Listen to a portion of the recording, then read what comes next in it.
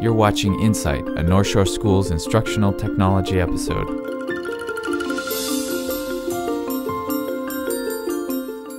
Hi, folks, I'm Nathan, and today I wanted to show you a website called Prezi.com. Prezi.com is a new way of doing presentations. When you first arrive at Prezi.com, you can play the video that kind of introduces what the product's all about. And, and I'm going to play that for you since it probably does a better job than I can do. You make presentations to share ideas, showcase work, or even to persuade your audience to do something. But what used to be a great opportunity has turned into a dreadful experience for you and your audience. The reason? Boring presentations. That's where Prezi comes in. In Prezi, you create and present your ideas on a large canvas like a whiteboard instead of traditional slides. You can easily place ideas, images, and videos and arrange them in a natural flow to tell your story. When you're presenting, Prezi lets you zoom in to emphasize a detail or zoom out to see the big picture. Now the audience can see the whole story as well as the details, and they're more likely to remember your work, ideas, or be persuaded to do something. The best part? You can start a Prezi now for a presentation you have tomorrow. In just a few clicks, you can bring presentations back to life. All right, let's take a look at Prezi. Um, I went ahead and created an account and logged in.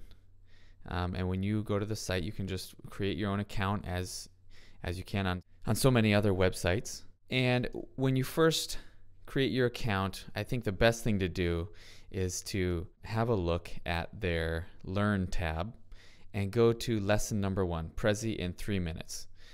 Great little explanation of what Prezi looks like and how you can use it.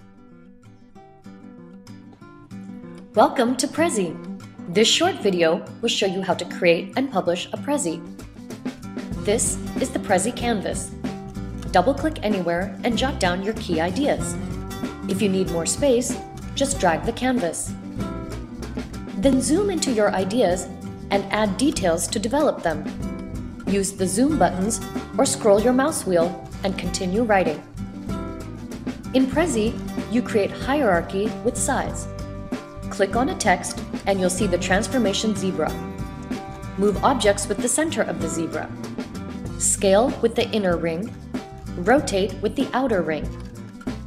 When you're ready to add images, click Insert on the menu and choose a file. If you want to get more uh, in detail, you can check out the uh, lesson two and lesson three. Um, so let's go ahead and look at the showcase and you can see some other presentations that people have made uh, just by clicking on these. There's a very interesting one about, it was called Math is Not Linear that I wanted to show you just so you can get an, get an inspiration. Let's see if we can find that. There it is. Math is not linear. Um, if you want to go full screen, you can click on more and go full screen. There we go. And let's just do autoplay. Maybe I'll add a little music to make this interesting.